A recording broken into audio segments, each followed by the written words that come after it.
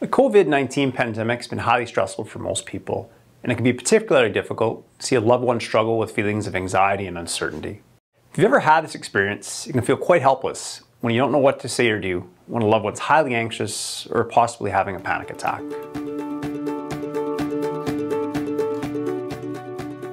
Hey everyone, I'm Trevor Sullivan from Sullivan Associates Clinical Psychology.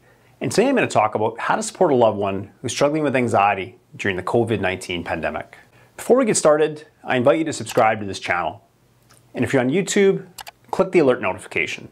That way, when we release more videos like this, you'll get notified. Anxiety is the most common mental health issue for children, adolescents, and adults. In Canada, roughly one in four people will experience an anxiety disorder over the course of their lifetime. And notice I said disorder. For a mental health issue to qualify as disorder, it needs to be a significant issue that's negatively impacting all facets of a person's life. So one in four people is fairly high, but it doesn't account for the many people who struggle with notable levels of anxiety that are still quite uncomfortable. Needless to say, anxiety is a very common problem, and we're going to take a look at a few actionable tips you can use to help support a loved one who's struggling with these feelings. For my first tip, it's important to acknowledge the issue by asking how your loved one's feeling. It could be as simple as asking, are you feeling okay? Have you been feeling anxious lately? Of course, it's important to choose your own words and you'll want to tailor them to fit whoever you're speaking to. But it's very important to ask in a way that shows genuine concern. There are people experiencing anxiety are some of the best actors and actresses that you'll ever meet, and they'll do their best to keep their feelings inside and cover up how they feel. And once again, the big key here is show genuine interest and concern when you ask someone how they're feeling. Asking a question such as, you aren't feeling anxious again, are you? Isn't going to be helpful. It's already a highly uncomfortable, undesirable feeling to be anxious, and asking someone this way is only going to create negative feelings and possibly even feelings of shame. Not to mention, they'll probably be less likely to share how they're feeling in the future. So besides asking someone how they're feeling, it's also important to validate how they feel. Validate psychological jargon for taking the time to acknowledge or accept how someone feels. For example, saying to someone, I can understand why this would make you feel anxious, or I'm so sorry you're feeling anxious, an example of validating how someone feels. The key to doing this effectively is to agree with and accept how someone's feeling. It's a very important step, even if you don't happen to feel the same way. By acknowledging how someone feels, you're essentially saying, I understand how you feel, and it's perfectly okay that you feel that way. In a 2020 study by Dr. Z. Tran and colleagues, they found that validating someone's feelings is the best way to provide support when someone feels anxious. They also found that attempting to support someone by using the wrong words can make the problem worse. So simply put, understanding and acknowledging how someone feels in a genuine, caring way is very important. The second thing I'd suggest doing to help a loved one who's struggling with anxiety is to encourage them to calm their body. And the best place to begin is to encourage them to use deep breathing. When we're born, we all breathe lower in the body from the diaphragm. And a great example of this is watching a little baby breathe while they sleep. You'll see their little bellies just bob up and down perfectly as they automatically take full, deep breaths from their stomach. And as we get older and more stressed, breathing tends to move upstairs, and we get in the habit of taking short, choppy breaths from high in the chest. So, provided your loved one is in the middle of experiencing a panic attack, I'd suggest a gentle introduction to deep breathing. When someone's anxious, there's a possibility they're going to feel somewhat irritable as well. And telling an anxious person to just breathe isn't always going to be met with enthusiasm. Not to mention, simply changing how you breathe might sound like a weak strategy when you first bring it up. And if your loved one's tried a few deep breaths in the past while they were feeling anxious or having a panic attack and found that it didn't stop the anxiety right away, they might have come to the conclusion that deep breathing isn't helpful. I'd love to tell you that deep breathing will stop anxiety quickly every time, but that's simply not the case.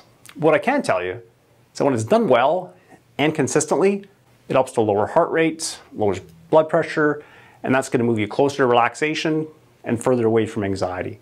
When people use deep breathing, I like to see them follow a set breathing tempo. An example of a breathing tempo would be breathe in for three to five seconds, hold your breath for three to five seconds, and breathe out for three to five seconds. If you repeat this breathing tempo 10 times, then alternate it with breathing normally, even just for a minute or two, can help to create a greater sense of calm and help prevent you from becoming even more anxious. And certainly feel free to alternate this breathing tempo with breathing normally as many times as you like. If you have a loved one who's reluctant to try it, I suggest simply sitting with them, taking several slow, deep breaths yourself, but in a really natural manner. It's not uncommon for people to mirror or match other people, so with any luck, they'll begin to pick up on how you're breathing and start to match your breathing tempo. Not to mention, emotions are contagious. So if you're becoming more calm and relaxed, this could help them to settle. For a third tip, you want to help your loved one calm their mind. One great way to do this is by using relaxing self-talk, which essentially means using a few relaxing phrases that'll help your loved one to calm their feelings of anxiety. And you have the advantage of knowing your loved one well, so it'll give you insight on what to say to help them to calm down. If you're interested in a few examples, I'd suggest using simple calming phrases such as, everything will be okay, we'll get through this together, this feeling will go away shortly. For some people, trying to use calming phrases may not be helpful if they're already feeling overwhelmed and just don't want to be calm in the moment, or feel as if there's nothing you can say or do to help them calm down. In that case, I'd encourage you to just listen how they feel, let them know you're aware that you can't take their anxiety away, but you're still going to be there to support them until these feelings eventually calm down. And for anyone supporting someone who's anxious, remember this. All emotions are like waves.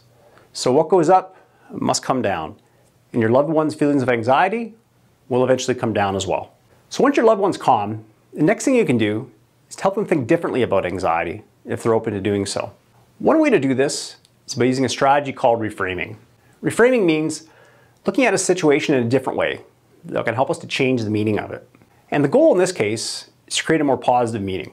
So for example, if someone's feeling anxious about their financial situation, it can be seen as a short-term problem that can be fixed. Or because of the current pandemic, it can be seen as an opportunity to make important changes in the future about how they earn, manage, or invest their money. Or if someone's anxious about going outside due to the current COVID-19 pandemic, they could view staying indoors as a way to spend quality time with family that just wouldn't have happened to the same extent without the pandemic. In a 2013 study by Dr. Nicole Llewellyn and colleagues, they found that people who naturally reframe anxiety-provoking situations, as opposed to just burying their anxious feelings, felt less stressed. But reframing is the only way to help people think differently about anxiety. Another way you can help a loved one to feel less anxious by thinking differently is help them recognize when they're jumping to conclusions. And with highly anxious people, there's a greater tendency to do this.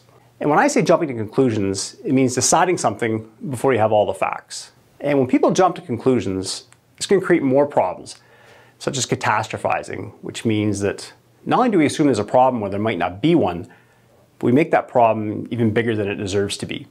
In a 2006 study by Dr. Chris Fraley and colleagues, they found that one way anxious people can cause problems in relationships is by jumping to conclusions. So one way you could help someone who's anxious is to politely point out when they could be jumping to conclusions, with the emphasis on polite, and discuss the facts about what is actually occurring. For example, with the COVID-19 pandemic, someone experiencing anxiety could be jumping to conclusions about how many thousands of people in Thunder Bay and northwestern Ontario will become infected by the virus. One way to help someone avoid jumping to conclusions is to point out what has happened so far and what is yet to occur.